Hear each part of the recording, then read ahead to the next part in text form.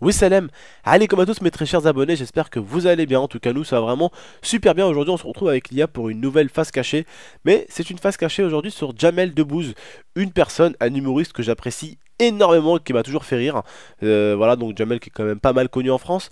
Donc aujourd'hui, on est là justement pour la face cachée d'une des histoires qui s'est passée à l'époque de l'enfance de Jamel Debbouze.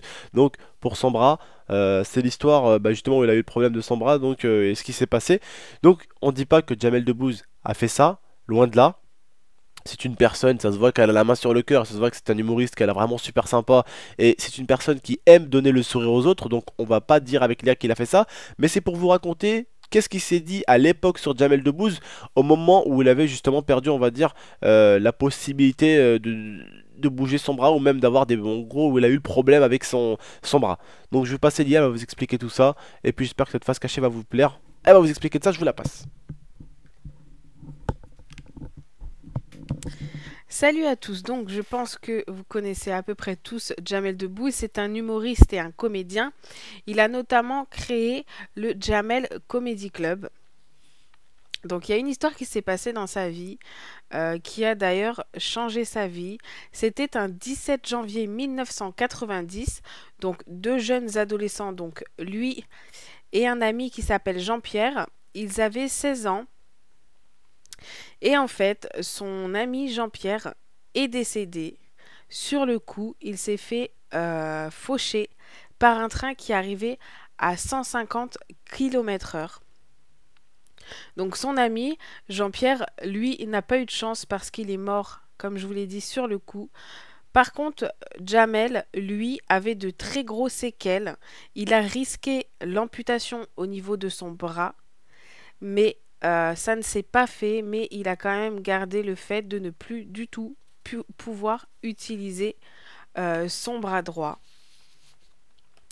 Donc, pour cette face cachée, euh, le problème, c'est que la mère du jeune homme qui est décédé accuse Jamel Debbouze d'être responsable de la mort de son fils. Vous allez me dire pourquoi en fait, pour elle, Jamel Debbouze n'a jamais été l'ami de son fils.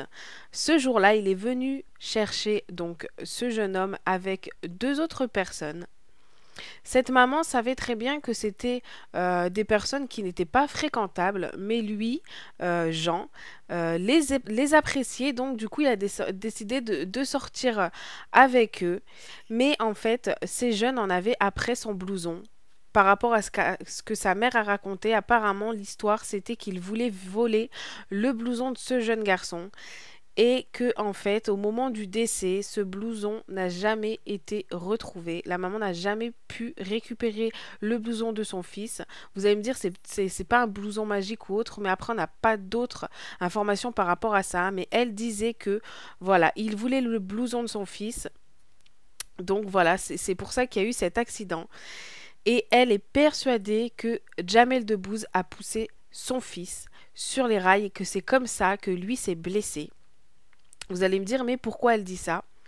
Parce que plusieurs témoins ont été euh, interrogés euh, sur la scène de l'accident et ils ont dit qu'ils avaient vu Jamel Debbouze pousser le jeune sur la voie, du, la voie ferrée et euh, arrivé au poste de police, ils n'ont pas confirmé euh, cette hypothèse. Ils ont dit que non, en fait, c'était pas vrai, etc.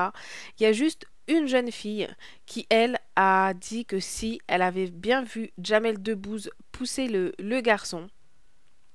Ensuite, donc voilà, euh, comme vous savez, la famille a porté plainte contre Jamel Debbouze. et lui a dit, écoutez-moi, il faisait noir. Euh, je ne voyais rien et il y a eu un accident. La maman de Jean dit ça uniquement parce qu'elle est triste. Jamel Debbouze, Debbouze pardon, a été euh, mis devant le juge et il a été jugé pour homicide involontaire. Et sur cette histoire, il a obtenu un non-lieu. Donc voilà, on n'en saura jamais plus. c'est quoi un non-lieu? Un non-lieu, c'est que bah voilà, ils n'ont pas retenu l'affaire. Voilà, pas de peine, rien du tout. Donc, euh, Jamel s'en est sorti. Après, euh, enfin, moi, j'en sais rien. Hein. Moi, je donne pas de jugement par rapport à ça. Je reprends juste euh, ce qui a été dit concernant cette affaire. Mais cette maman, 25 ans après, veut encore montrer et prouver que Jamel est responsable de la mort de son fils. Donc voilà, j'espère que vous avez compris mon histoire, que ça a été assez clair pour vous. comme Abdel vous l'a dit, on ne juge pas, on donne juste des éléments, voilà, l'info. Et ça s'arrête là, nous ne donnons pas d'avis parce qu'on n'en a pas à en avoir sur cette affaire. Donc moi je vous repasse Abdel, je vous dis à très bientôt pour une nouvelle face cachée, je vous fais à tous de très gros bisous.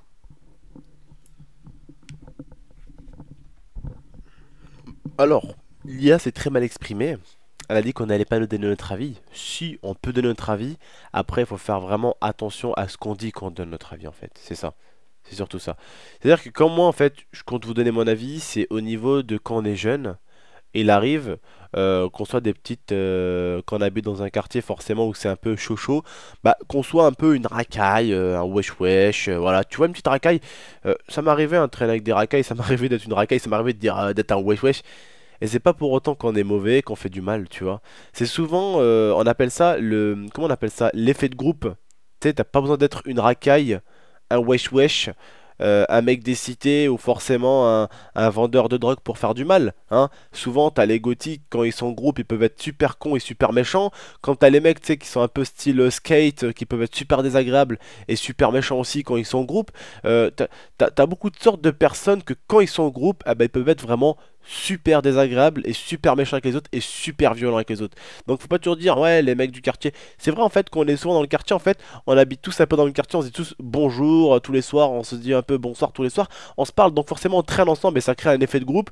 Donc c'est ce qui fait qu'après on fait des conneries, mais souvent c'est vrai que quand en fait de partout dans le monde entier, quand t'as une occasion de traîner en groupe, bah souvent quand on traîne en groupe, on veut faire celui qui fait la pire chose, celui qui fait la pire connerie, et forcément on se retrouve à faire des conneries et c'est pas parce que tu habites au quartier que forcément tu fais des conneries. Tu peux être un riche et faire le con.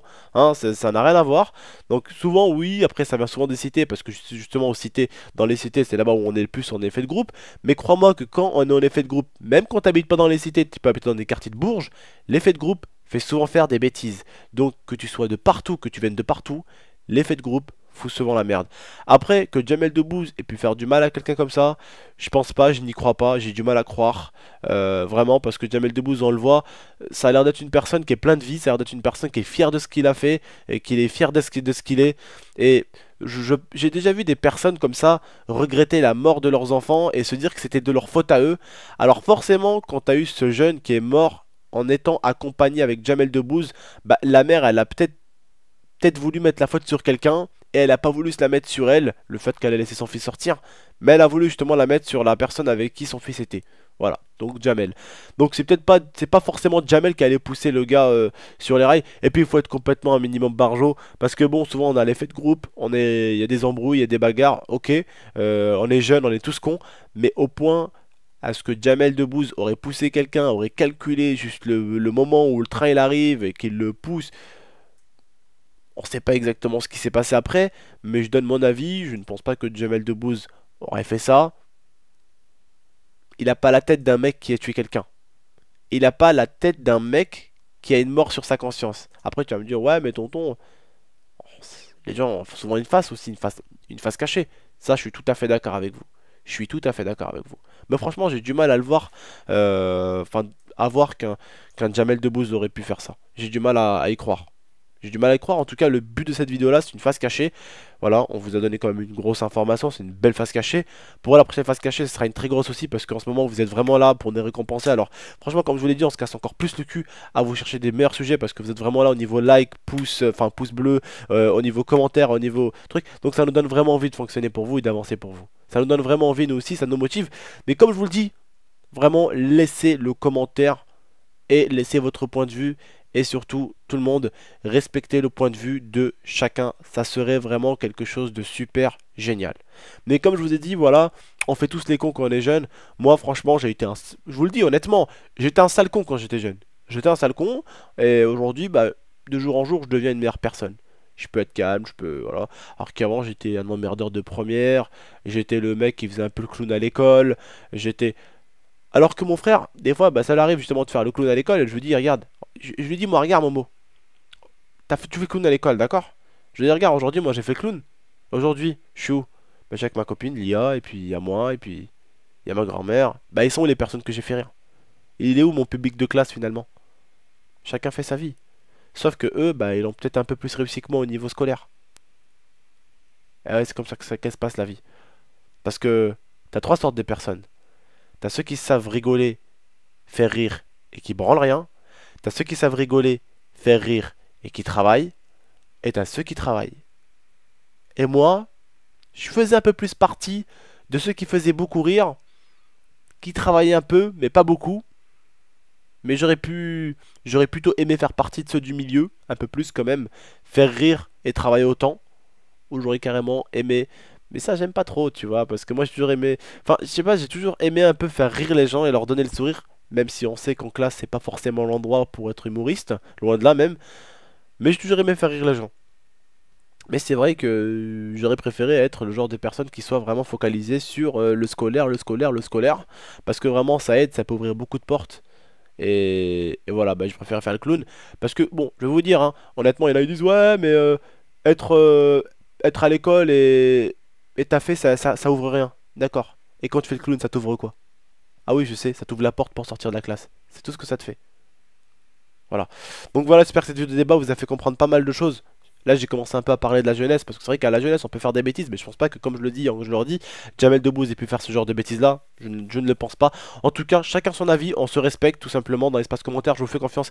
N'hésitez pas à mettre un maximum de likes sur cette vidéo-là, ça serait vraiment super. N'hésitez pas non plus à vous abonner si vous avez aimé cette petite face cachée. La semaine prochaine, il y aura une très grosse face cachée aussi qui va arriver. N'hésitez pas non plus à la partager. Je compte vraiment sur vous sur les réseaux sociaux. N'hésitez pas à la partager. Et n'hésitez pas à venir me voir en live là tout de suite. Je suis en live maintenant tout de suite en direct sur Twitch. Vous tapez GameX13, vous allez venir me voir en live. Je suis parti pour 33 heures de live. En tout cas, je vous remercie de m'avoir écouté et de nous avoir regardé. Ciao tout le monde, c'était GameX13. À la prochaine pour de prochaines vidéos.